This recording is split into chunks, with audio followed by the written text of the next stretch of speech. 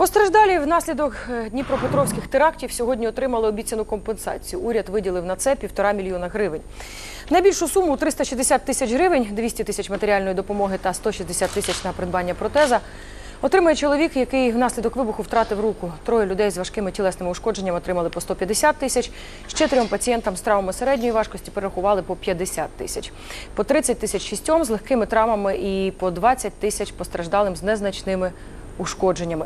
Гроші вже переказані на спецрахунки, які напередодні відкрили для кожного з потерпілих.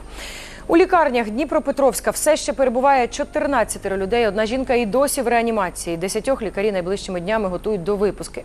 Тим часом у мерії кажуть, в найближчі півроку у всіх людних місцях Дніпропетровська встановлять відеоспостереження, а також замінять усі міські смітники. мы обязательно примем определенные меры, Исчерпывающие для того, чтобы э, заменить э, оборудование, в том числе урны и все, что находится в местах массового скопления, на предметы, которые не могут разлетаться и быть предметом поражения, как в данном случае бетонные урны.